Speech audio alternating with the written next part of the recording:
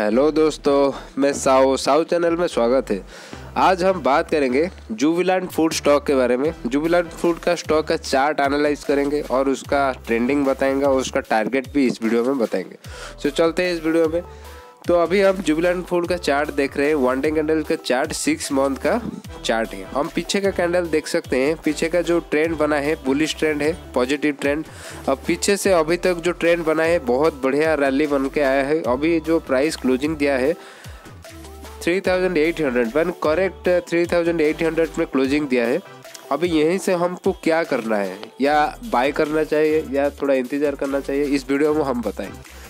तो अभी पहले इसको पहले हम देखेंगे पीछे का स्ट्रैटेजी क्या है। जुबिलेंट फ़ोन का पीछे का स्ट्रैटेजी क्या है? पीछे का स्ट्रैटेजी मतलब यहाँ से लेके मैंने जो अभी का जो प्राइस चला है three thousand eight hundred price से लेके कितना बार वो हाई बनाया, कितना बार लो तोड़ा है, अभी लो टू हाई कैसे बना रहे वो इस चार्ट में हम देखेंगे। तो अभी जो चार्ट देख पा रहे पीछे जो हाई बनाया था फोर थाउज़ेंड के आसपास में यहाँ पर हाई बनाया था, यहाँ से करेक्शन दिया, अभी दोबारा करेक्शन ख़त्म करके दोबारा अब बुलिश ट्रेंड में आया है। तो यहाँ से हम देखना है, इस प्राइस से और नीचे ना गिरे।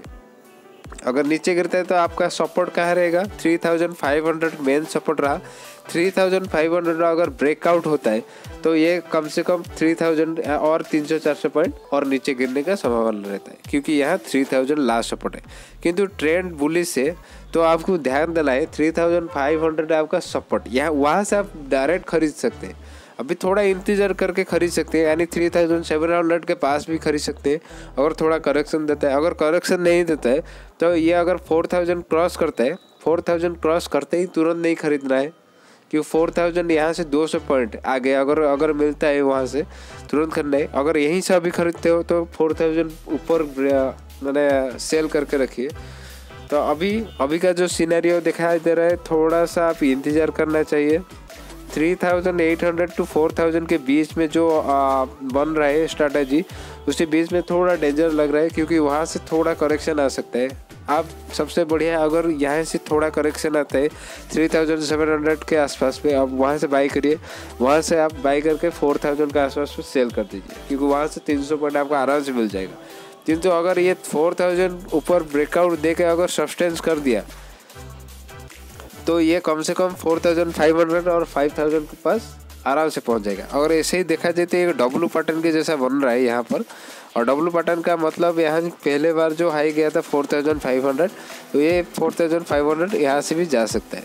आपको ये ध्यान देना है, अगर फोर थाउज़ेंड के पास अगर ब्रेकआउट दे के रुक गया एक दो दिन तो इसका मतलब ये डब्लू पैटर्न बनाने के लिए कोशिश करेगा, यानी ये और एक ट्रेंड नया ट्रेंड में जाएगा। तो ये रहा जुबिलेंट फ़ूड का स्ट्रैटेजी स्टॉक के बारे में बता दिया जुबलन फोर्ड में कहाँ से एंट्री ले लें। थोड़ा सा अगर इंतज़ार कर लेंगे तो आप ले सकते हैं नीचे से थ्री थाउज़ेंड सेवन हंड्रेड के पास। अगर इंतज़ार नहीं होता है तो यही यही आसपास प्राइस में आप लीजिए, क्योंकि ध्यान देना है, अगर जल्दबाजी में आप बेचना चाहेंगे तो फोर थाउज़ेंड में बेचिए। अगर इंतज़ार करके लॉन्ग टर्म व्यू में बेचना चाहेंगे तो आप फोर थाउज़ेंड फाइव हंड्रेड के पास में बेच सकते हैं। तो ये रहा स्ट्रैटेजी ये जुबलैंड फ़ूड का स्टॉक है। तो कैसा रहा वीडियो? लाइक कमेंट शेयर और सबके साथ फ्रेंडशिप करके रखिए। थैंक यू दोस्तों।